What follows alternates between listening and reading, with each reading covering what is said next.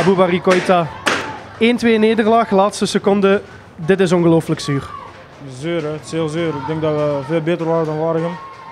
Alleen, uh, ja, het is weer de laatste minuut. Hè. Het moet weer een doel te zijn. Ja, zuur, echt zuur. We zitten echt wel in de hoek waar de klappen vallen de laatste weken. Inderdaad, daar geen woorden voor. Jouw doelpunt was een, uh, een heel mooi moment. Die schicht ging er dan wel heel goed in. En op dat moment was dat ook uh, heel veel ontlading, denk ik. Inderdaad, dat is ook mijn eerste doelpunt. Uh, ja. ja, ik ben blij voor mijn eerste doelpunt, maar voor de rest, ja, we hadden gewoon de drie punten thuis moeten houden. We hebben veel kansen gecreëerd. Uh, was gewoon ja, nergens, vind ik.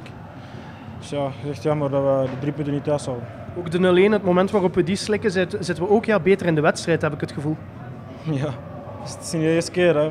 Want we spelen ja, bijna altijd goed en dan valt die, ja, valt die 0-1 opeens. Dus uh, ja, heb, ik heb er echt geen woorden voor. Het is echt, uh, het is echt jammer, want uh, we waren echt veel beter dan Waregem.